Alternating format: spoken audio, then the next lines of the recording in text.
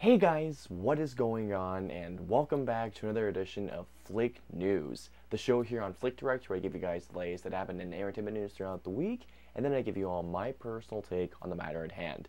I'm your host, Austin Putnam, and this week there was a lot of big things happening this week besides Eternals coming out to which I, well, I'll talk about that later on. However, with all that being said, we do have a couple of other topics, starting off with Baby Driver 2 and an update from Edgar Wright. Well, not from Edgar Wright, but we do have an update on Baby Driver 2. In case if you guys have not seen it, Baby Driver was a kick-ass action movie. It was one of my favorite movies of 2017. I love Baby Driver to no end. I love Edgar Wright's filmography. If you guys have been following the production of Baby Driver, even actually after the film came out, it was known that because the film's very successful box office, that Sony wanted Edgar Wright to write a screenplay, into which apparently Edgar Wright has finished writing a screenplay, but apparently Edgar Wright may not be helming Baby Driver 2, and I'm going to say this really quick.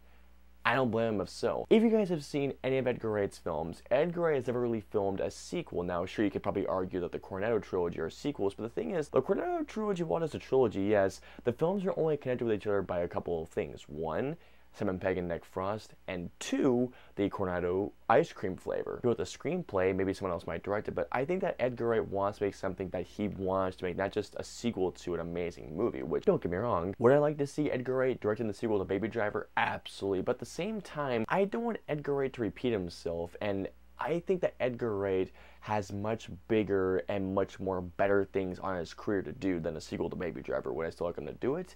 Absolutely. But at the same time, do I think he's actually going to do it? No. Coming up onto our next news story, we have an update on Spider-Man No Way Home, which is definitely one of my most anticipated movies of the fall season, or actually at the winter season. I love the previous two Spider-Man films, Homecoming and Far From Home. I do prefer Far From Home just a tad bit more over Homecoming, but Homecoming was a badass movie. According to the film's official website, Spider-Man No Way Home is going to be, now this is just, I don't know if this is actually confirmed, this is just from the website, I don't know, this is, like I said, no confirmation, this is just from the website. The official rumor runtime of No Way Home is 2 hours and 39 minutes, making it the longest Spider-Man film to date. Do I think this film is going to be that long?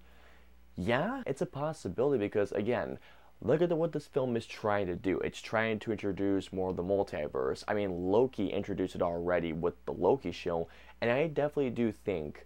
Well, also, well, I can't say it because it's a spoiler alert for them. Let there be carnage. But knowing what No Way Home is trying to do in terms of the multiverse and everything else, there's so much going on in that film that I will not be surprised if it is actually that long. I will be shocked if it's anything shorter than let's say two hours and 20 minutes because knowing what the film is attempting to do with the storyline and with everything going on this film should be over two and a half hours. Bring on No Way Home, I'm very excited for this movie. Remember I mentioned earlier how I will be talking about Eternals at some point in the show? I figured I'd bring it up for our last topic. So Eternals has been proven to be a divisive movie for critics mainly, audiences are seeming to love it. How do I feel about Eternals?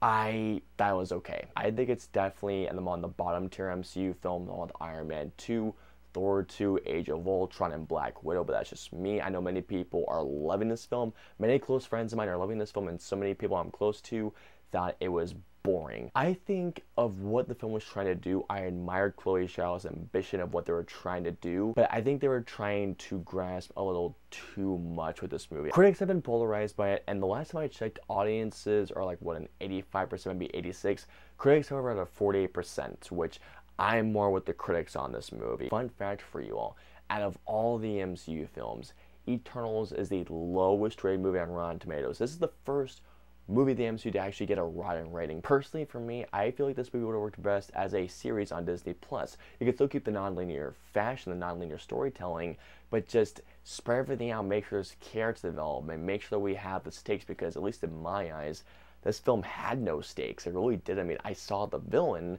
but there was just no stakes. I could go I could go on about this movie for ages because personally I just wasn't a fan of the movie. However, if you guys out there really like the film, I'm happy for you. I just wish I was in the same boat. I'm happy you guys liked it. Personally, I'm just not one of the people that liked it. And that's gonna wrap it up for this week's show. Please comment down below, let us know. How do you guys feel about the possibility of Edgar Wright maybe not coming back to direct the Baby Driver sequel? Also, how do you all feel about the runtime of Spider-Man No Way Home? And finally, when it comes to Eternals with the critics versus audiences. How are you guys? Are you on the side with critics who are polarized, or are you on the side of audiences audiences or are you on the side of audiences who love the film? Let us know below. I hope you all enjoyed this week's show. If so, please hit that like button, also share, and don't forget the subscribe button and the notification bell for our latest new show goes live. If you guys want to see our previous two shows, please click it right there or right there. And of course, until next week's show, we'll see you guys next week. Have a great week, guys. Hit like, smash subscribe, and get notified for when our reviews, interviews, and news go live.